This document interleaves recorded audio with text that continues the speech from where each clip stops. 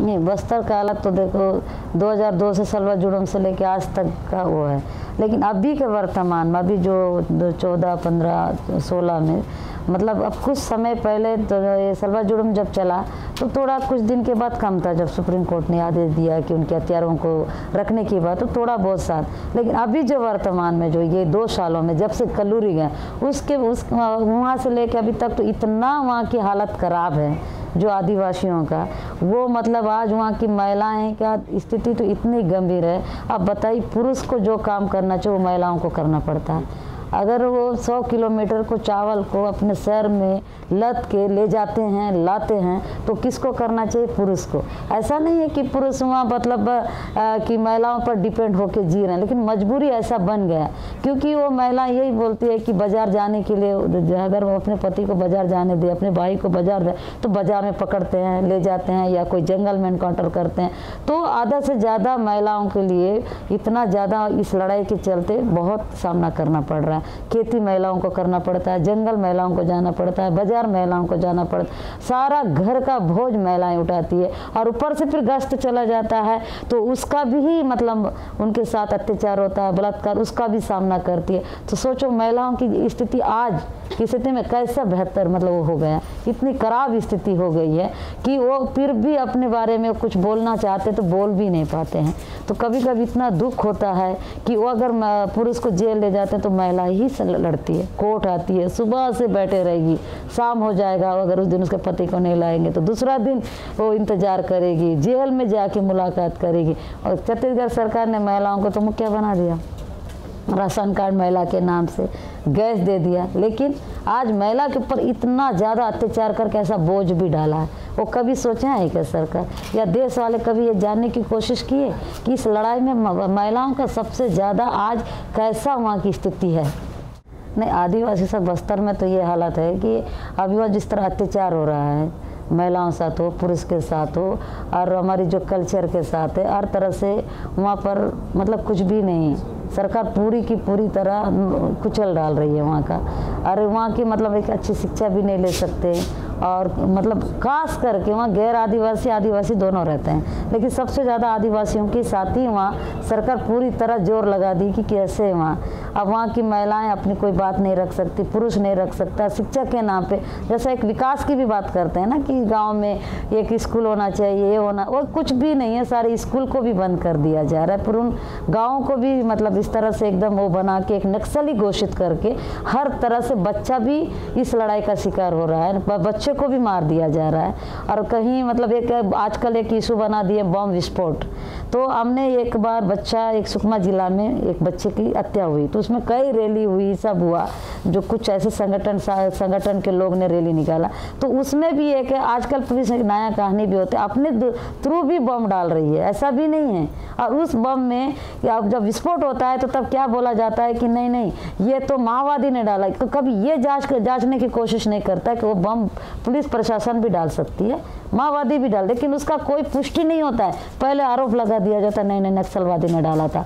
तो एक नक्सल के नाम पे बस्तर का पूरा ज़िंदगी जीना, ना तो मतलब आज की स्थिति में जो हमारे जो कल्चर था, जब हम पढ़ते थे तो रात में नाच गाना करते थे, ना वो नहीं कर सकते, बाज़ार नहीं जा सकते, और मतलब वो एक उस तरह से खेती करते थे। आज वो खेती भी नहीं कर सकते, खेती उतनी करते हैं, थोड़ा बहुत उनको लगता है कि हम सुरक्षित हो सकते हैं, उस जगह पर खेती करने जाओ, गोली मार देते हैं।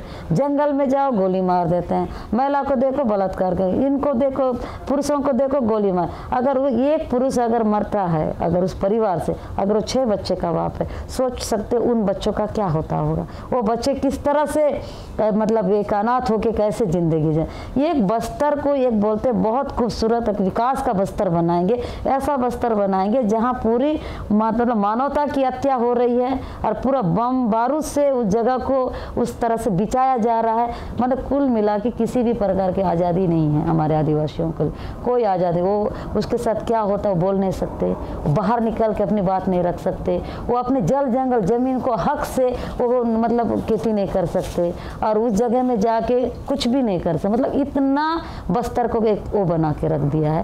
वो बोलते हैं, ये जल जंगल ज़मीन हमारा, लेकिन हमारा नहीं रहा।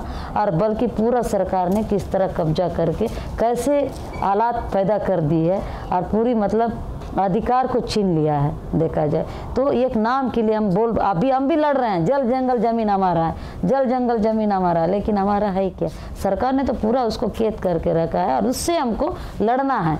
उससे हमको उस चीज़ को हासिल करना है। अब वो कैसे हासिल करेंगे किस तरह से लड़ेंगे और इस लड़ाई में हम कितना आ, वो सक्सेस होंगे ये भी नहीं पर लेकिन ये लड़ाई तो जारी रहेगा और ये लड़ाई को लड़ा जाएगा क्योंकि ज़िंदा रहते हमारे आदिवासी भाई ने कभी अपनी जल जंगल ज़मीन नहीं देंगे।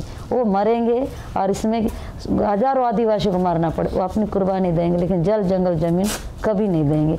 ये तो तय है, क्योंकि वो उनका हमारा जीवन है, वो हमारा हक है और हमारा अधिकार है, और ये हालत है बस्तर के होता है ना, कल के दिन आप खुद हमारी आवाज़ से आप सरकार को घेरते हैं, अगर आप पूछते हैं कि नहीं, बस्तर में ये हो रहा है तो आप तो हमारे मुँह से सुन रहे हैं तो आप उतना एक विश्वास से अगर कभी सरकार को आप घेरना चाहे, सरकार से सवाल खड़ा करना चाहे तो हो सकता है सरकार बोले ऐसा नहीं, ऐसा है।